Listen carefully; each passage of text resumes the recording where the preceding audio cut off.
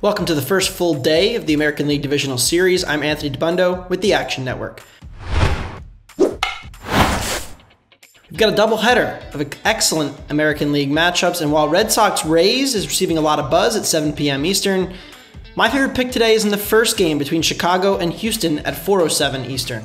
Most see this as the most evenly matched of the four matchups taking place this week, but Houston is a solid minus 145 home moneyline favorite in game one as Lance McCullers takes the ball against Lance Lynn of the White Sox.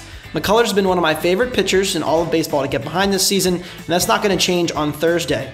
I like the first five innings under four runs. McCullers has only allowed 13 home runs all season in 28 starts this year, and while control and strike throwing has never been a strength for him, he strikes out a lot of batters and induces a lot of ground balls. His OPS allowed the first and second time through the lineup is .542 and .649, both well above league average, and he's unlikely to get a third time through the order in the first five innings.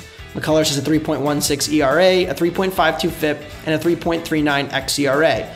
He has a great ground ball infield defense behind him and pitches around his walks well, striking out 10.3 batters per nine.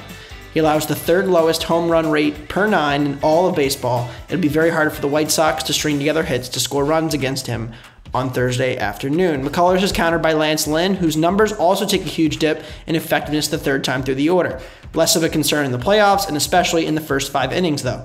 His 2.69 ERA and 2.59 xERA show that his dominant season and elite command is not a fluke, as he's achieved excellent numbers despite a subpar defense behind him. Both offenses hit left handed pitching much better than they do right handed pitching, which is a negative for both offenses on Thursday. I'm expecting a close, low scoring affair and would play under four in the first five innings at minus 110 or better.